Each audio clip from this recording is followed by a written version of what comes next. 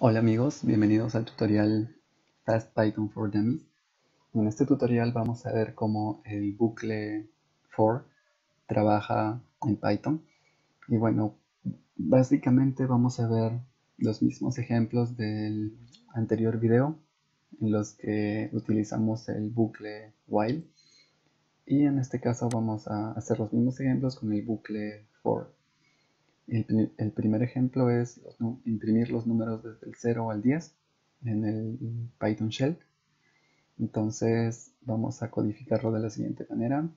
For numbers in range desde el 0 hasta el 11. Recuerden que la forma en la que programamos con el bucle while solo llegamos hasta el 10.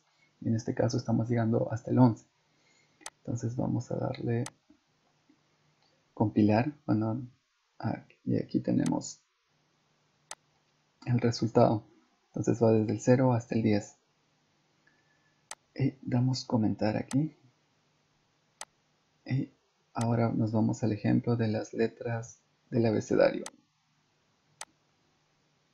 Entonces recuerden que vimos en el anterior video también que los caracteres eh, para los caracteres, Python lo interpreta de acuerdo al índice que tiene. Por ejemplo, para el carácter 97 es la letra A. Y para el carácter 122 es la letra Z. Entonces, bueno, aquí tenemos que ir hasta uno más. Como aquí fuimos hasta el 11, aquí tenemos que ir en, cambio del 122, vamos hasta el 123. Y, ah, y otra cosa, no olviden el, el tab aquí para programar correctamente el bucle. Entonces damos compilar y aquí nos aparecen las letras del abecedario, empezando desde la A hasta la Z. Y es así como se hace con el, con el bucle for.